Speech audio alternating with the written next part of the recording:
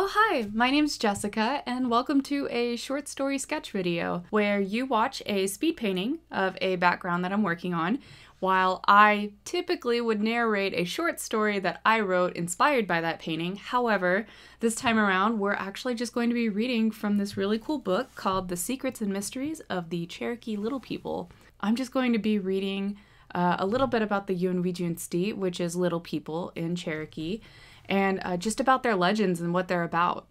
The Yunwi Tsunsdi uh, are very similar to like uh, European uh, fae or fairies.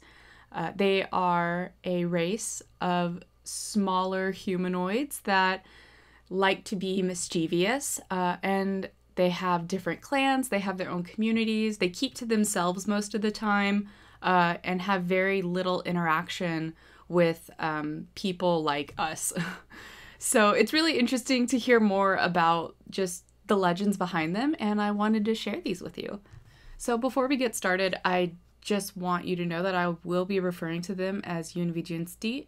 Uh, so just for pronunciation purposes, uh, it's spelled Y U N W I T S U N S D I, and that's U N we ju n s d yun we jun sti yun we jun sti okay so now that that's out of the way let's go ahead and begin.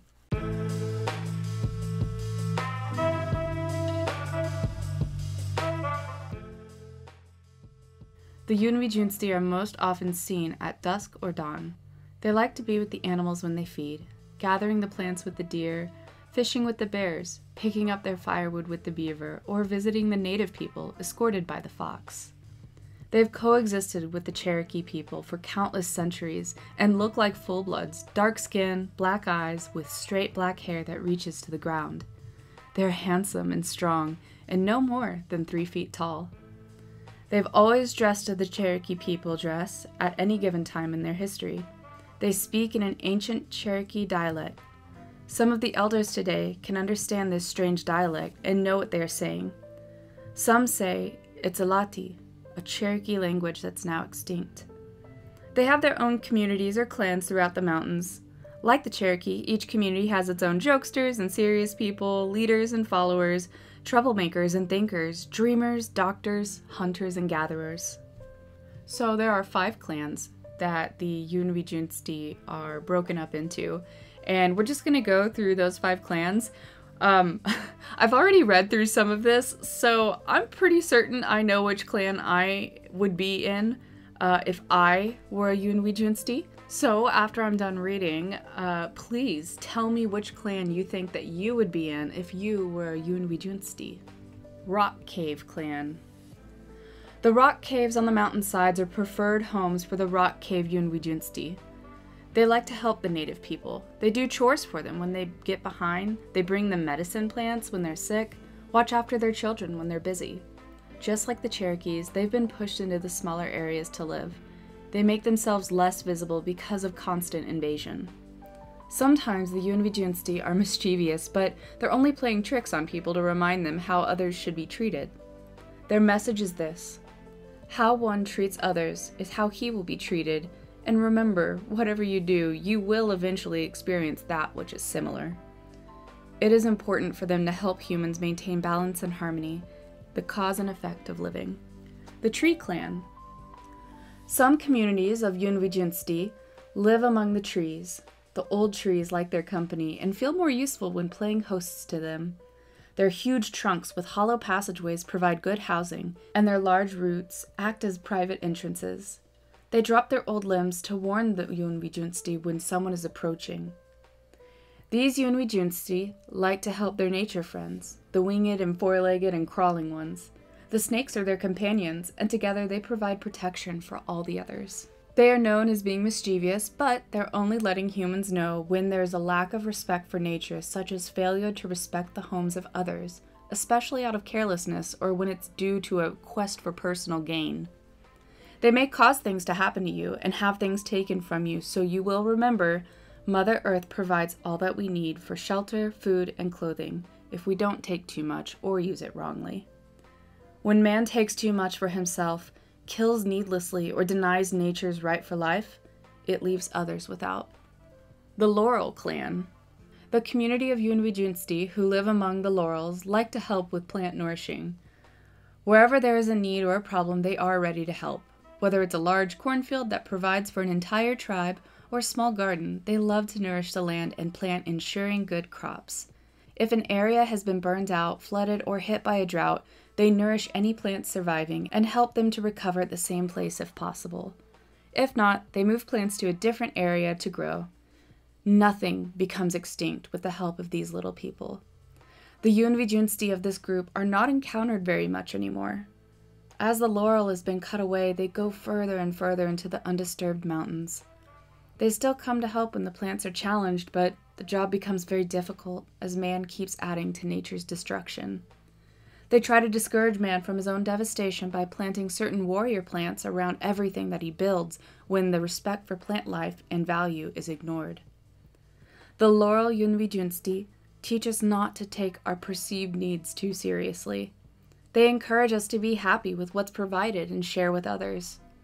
The fourth clan is the Dogwood clan. A special group of Yunwi Tsunsdi live among the dogwood trees. These people are very delicate both physically and emotionally. They only look for the good and beauty in everyone and in all things. They can be seen only when they choose to reveal themselves with the dogwood blossoms. They spend the rest of their time dreaming of good things for people, animals, plants, those who swim, those who crawl, and those who fly. They care for everything that Mother Earth provides. When they do appear, they look around, and their tears become the dogwood blossoms. Some seasons their tears are scant and fall quickly. Other seasons their petals linger and are full. It depends on whether humans are treating each other in all things with consideration, especially our Mother Earth. They are never known to be mischievous. All year they dream of helping each other from sincere and caring hearts rather than for personal gain. And the last clan is the Thunder Beings. According to legend, it took thousands of cycles for the Thunder Being's wings to mature. Before that, they lived in cocoons on the clouds and fed up on the rains. Some versions of this story say that they could become human beings if they choose to. They could send their spirits down to earth in the forms of bolts of lightning. When a bolt strikes near a woman's womb, the spirit could go inside and grow into a human. They would, however, only grow to maybe three feet tall when an adult. To the Cherokee, they're called the Thunderers, and they bring great power and wisdom to the people of Earth. It is said that they do not come as much in these days because the race of destroyers has infested our Mother Earth global wide. The Earth people have become weak from fighting this mind disease. In this era, it is time for the Thunder Beings to use their power and wisdom only from the wind, rain, and clouds creating more frequent damaging floods, extreme droughts, and uncommonly forceful winds. Their power and wisdom is used now to protect Mother Earth, rather than the human beings who inhabit her. So, we're going to go ahead and get into a few of the stories about them, and we're just going to touch really brief on these stories because there are a lot in this book. So, um, I'll just read two or three and uh, then we'll call it good. What's kind of cool is that right before the book, there's like this little poem or saying or quote uh, before each story, and this one really caught my eye. It says, if you do things deliberately to prove that you don't believe in them, like disturb where they might live, or mock their singing and drumming, or even dispute someone who does believe in them, the little people will help you to believe. And I feel like that's just a threat.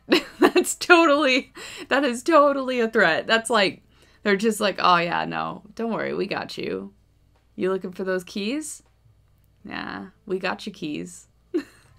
it just made me laugh reading that because there are a lot of little like quirks that the Yunwi Tsunsdi have. And I could just imagine like the terror they could unleash on you uh, if they wanted to really poke fun at you. Like one of the things about them is um, if you are in a forest because you're hiking or hunting or whatever you're doing, uh, and you find a trinket or a hunting knife or something that was clearly man made or crafted, uh, and it's just on the forest floor, someone has dropped it or lost it, in order to be able to take that item, you're supposed to say, Yunwi Tsunsdi, I would like to take this. And if there's no response, you're good to take it because you asked and you'll walk away unscathed. Uh, but unfortunately, if you just pick that thing up uh, without asking first or stating your intentions, uh, they will throw rocks at you. Yeah, yeah. Don't turn your back. you are gonna pick that up, turn around, and they are there. A rock will come flying at your head. Don't don't mess with the Yunwi Tsunsdi. On a clear moonlit night, two men were walking down a dirt road. A hard day of work had them tired, and they did not relish the long walk home. After they were passing a cornfield, one said, You know, if we cut through that field, we'll get home a lot quicker. Well, what are we waiting for? His friend replied. They both turned into the field, each following a row of corn. The road disappeared behind the tall stalks of corn as sharp green leaves sliced at their faces and rubbed at their shirt sleeves. The two men had not walked long before they heard the rustle of corn ahead. They heard the sound of scuffling, quiet laughter, growing louder and closer. Suddenly, out of the darkness, between rows of corn, a party of Yunwi Tsunsdi tromped right through the middle of the cornfield, leaving them speechless. Thirteen in all, they marched noisily along, one or two poking their heads out through the stalks to glance curiously at the men, but otherwise paying them little attention.